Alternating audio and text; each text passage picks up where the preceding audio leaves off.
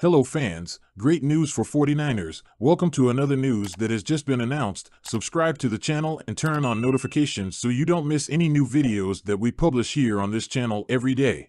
49ers wide receiver Deebo Samuel was a full practice participant on Wednesday, which would seem to be a good sign for the chances that he will be back in the lineup for the first time since suffering ankle and MCL sprains in week 14. Samuel doesn't sound so sure that this week is going to be the one where he's back, however.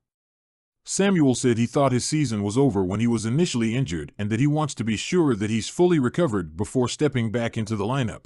Not necessarily trying to push, Samuel said, I'm not going to risk myself. If I'm not 100% ready to go, I'm not going to go out there. The 49ers could still wind up with the number one, number two, or number three seed in the NFC depending on this weekend's results, so there are stakes to their results in the final weekend of the regular season. They'll be playing in the postseason regardless of those results, however, and they'll want Samuel to be in top shape for that game, and that will likely be the guide to any decision about his availability against the Cardinals. Put your opinion on this news in the comments. Click on the video above to find out about other news that happened to the 49ers. See you soon, fans.